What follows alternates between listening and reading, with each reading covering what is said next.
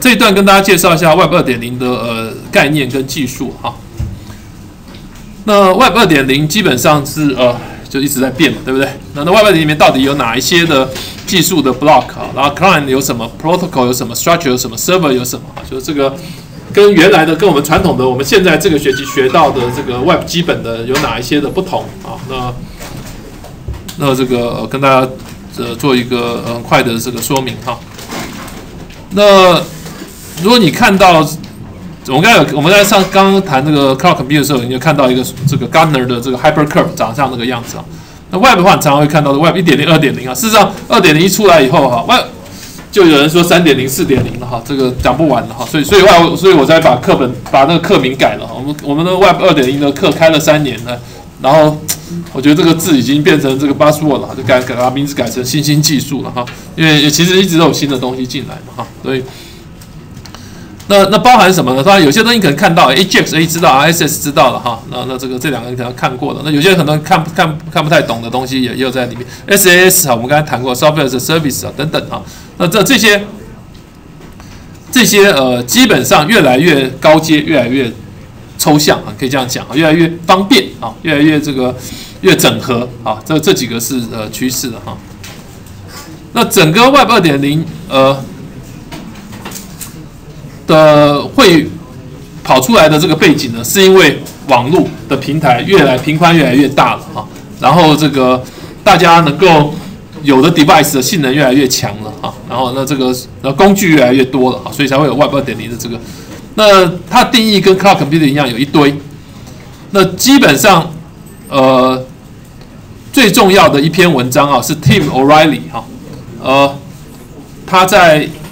二零零五年的时候的二呃不二二零零三二零零四的时候的一一个一篇文章哈，可是，在后来哈，在二零零六年十二月三十一号哈，《时代》杂志，我不知道你们有没有看哈，大概很少人看哈，但是但是，《时代》杂志每年都会选一个什么年度风云人物了哈，二零零六年十二月的，他就是自己，对不对？就是一个一个一个一个一个跟镜子一样的，你去看那个，哎，就看到自己。为为什么为什么那个当年度的这个年度风云人物是自己呢？如果去看他文，当然有哦，自己很高兴。有没有人去看一个文章，或者是如果看到这个新闻，为什么会是你自己？你是你变成年度风云人物了，对不对？如果你去看一下，嗯，我是年度风云人物，我是二零零六年，你去可以跟别人讲，我是二零零六年的《时代》杂志年度风云人物。那别人为什么？你看文章就知道，因为 Web 二点零就是每一个人的贡献，就是我们的共同笔记，大家都有贡献的。你有贡献的时候，你就是 Web 二点零的一份子。因为在那一年的时候，Web 二点零是是这个广泛的被在二零零五、二零零四、二零零三的时候，Web 二点零概念提出来的。二零零六年的时候，Wikipedia 什么都很成熟了，大家都知道都会用了。就是那这可核心的概念是，你不贡献，你不参与，你就不是他的一份子。你贡献、你参与的，就是他一一份子。基本上这个文章里面都有写哈。那那然后然后事实上事实上，所以呢就弄你自己的哈。那那这个跟跟这个从某个角度来讲，这专题一样，专题里面有参与跟贡献的，那你就会你的就就有成就，不止在分数上面，还有其他地方成。如果如果如果你没有参与、没有贡献的，那当然就就就各方面都都损失了哈。好，那那这个是 Tim O'Reilly 哈。我为什么 Tim Tim O'Reilly 是谁呢？是那个 O'Reilly，如果大家知道那个。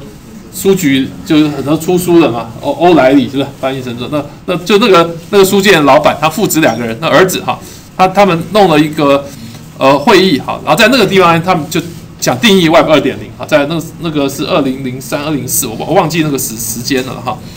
那他他讲了几个 Web 二点零的这个就 harnessing collecting intelligence，collecting intelligence，就是说群大家一起。就是你参与了以后，把大家所有的智慧给收集起来，我们叫群聚智慧啊。就是像我们共同笔记本来叫做 collective notes，后来把它改改名字了，改成中文还叫共同笔记，英文改成什么 collaborative note，以前叫 collective，我觉得 collective 只是收集哈，但是那希望大家能够再合作一点哈，所以就变 coll collaborative 哈，就合作的笔记了哈。是那那那那共群聚智慧，就是我一堆人在一起的时候，那个力量会比较大哈啊。然后，rich user experience 啊，这使用者得到的比较就是 Ajax 啊，简单来讲，这就 Ajax 哈。User generated content 啊，每个人都写 blog，每个人都贡献了，所以很多人大家都有自己的 YouTube 的 channel 了哈，都在上面做广播了哈。然后大家你都 iTune 也可以做你自己的 channel 哈，然后你的 blog、你的 Twitter 一堆人在订阅，你的 blog 一大堆人在订阅啊，所以所以产生很多使用者产生的这个内容哈。然后呢，下面这个跟网络有关，end of software life cycle 哈，release cycle 和 perpetual data beta 是什么意思？就永远的 beta 版本，也就是说我们的软体啊，不是说我写完就交卷了就没有了，我交给交给客户就没有了，所有的软体都是网络版的，网络版那就一直是 beta 版，beta 版 alpha 跟 beta 版有什么不同？大家都看到 beta 对不对？为什么要叫 beta 测试对不对？那 alpha 跟 beta 有什么不同？诶，不错哦，这真的，那那这颗啊，那阿尔法跟贝塔有什么不同？阿尔法是我自己开发人员的测试，哈，贝塔是我 release 出来给给给我给我潜在的一些使用者的测试，啊，这个所以阿尔法跟贝塔不同啊，所以你们看到大家都贝塔，对不对？那 per perpetual 的贝塔是什么意思呢？贝塔是就是说，因为我是网络的，我就一直在更新，一直在更，而且我的更新，我的这个改功能加功能。不能停机的，对不对？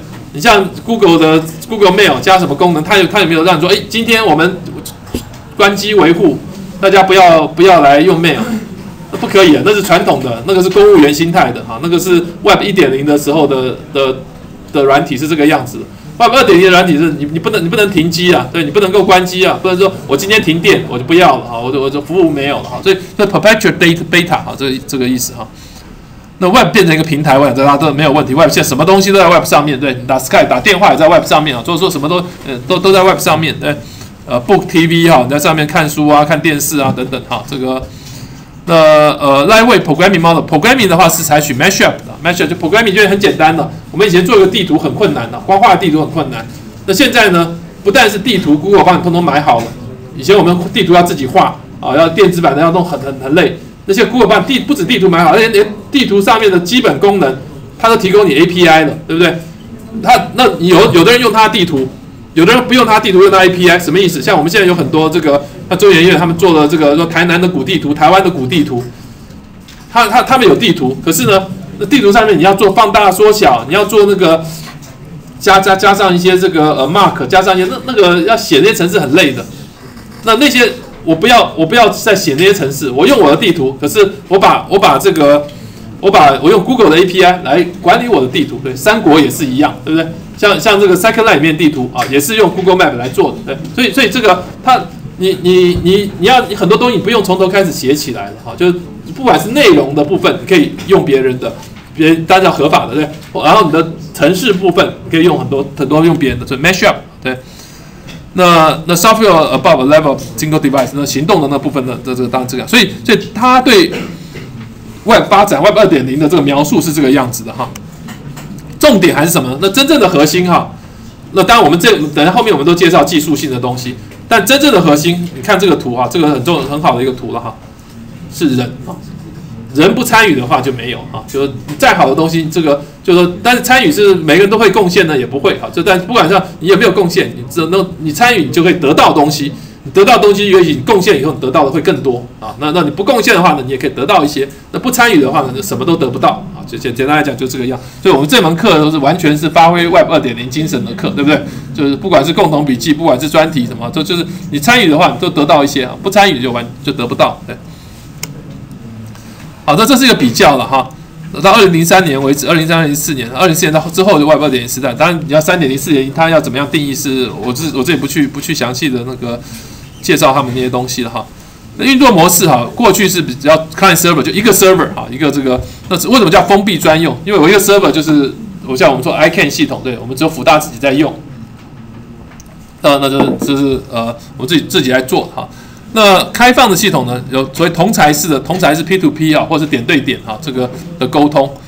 P to P 我不多谈，不过 P to P 大家你用 BT 啊、email 啊，大家就知道知道什么是 P to P to P 对。可是另外像打 Skype 电话也是 P to P，就是我个人跟人人对人之间直接沟通多了哈，像像我用呃从模形式来讲，你你写 blog，你你写这个，有很多人就可以直接跟你来做直接沟通，你你再去别人的 blog 上面，别人呃别人到到你的 blog 上面哈。那那这个沟通比过去更有效，对，为为什么叫更有效？